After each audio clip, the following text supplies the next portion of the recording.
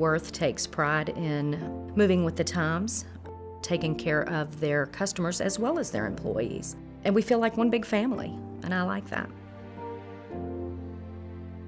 We're all here trying to do a good job. You know, we really appreciate each other. Instead of it just being, no, you're in finance and you do finance stuff. It's like, no, if you have an interesting idea, let's let's take a look at it, and if it's good, write out the project and let's implement it. They really encourage individualism and an entrepreneurial spirit. That freedom is seen throughout our team and the success that we have. My job is really to enable my sales force to help make our customers more efficient and profitable every day. That's our goal. The culture here at Würth is something unlike anything that I had experienced before. You know, we're in groups, we have small teams, but we're one big team as well.